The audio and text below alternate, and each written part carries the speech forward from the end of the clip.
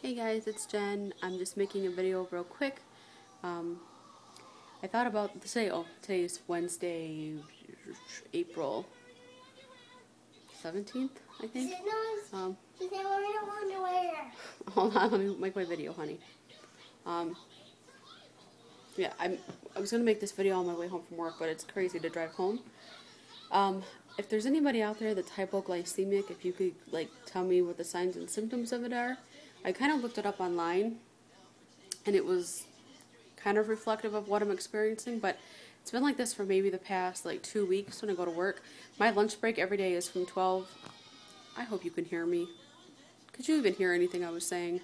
Anyway, if you're hypoglycemic and you can help me, let me know because for the past two weeks while I've been at work, um, I take my lunch break from 12 to 12:45 and every day around 3 o'clock, well, not every day, but most days around 3 o'clock in the afternoon, I start to get like really anxious feeling, kind of, and I start shaking a little bit. My hands kind of tremble a little bit, not really, really bad, but enough that I notice a difference.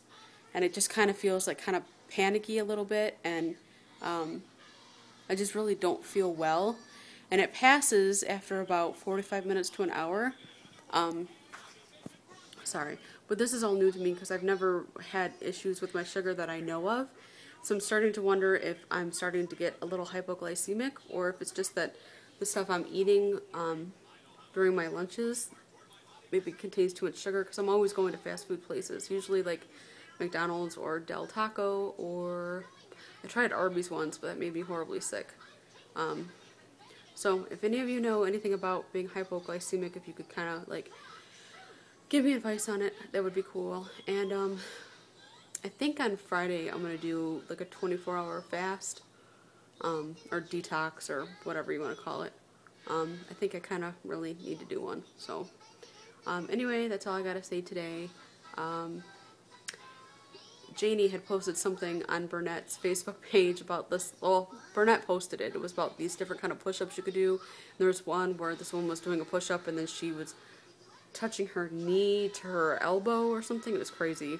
And I had commented that I didn't want to do it, and she's, you know, Janie was like, yeah, you can do it if you just try. This time next year, it could be you in that picture. And I responded with, I didn't want to be strong, and I didn't, I didn't want to, like, do that kind of stuff. I don't want to be that fit, really.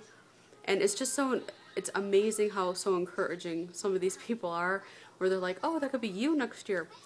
I know what they mean by it and they're trying to be supportive and encouraging, but there is no way I will ever, ever look like the person in that, that clip and that little example or exhibit of how to do that sit up, push up because it's just not.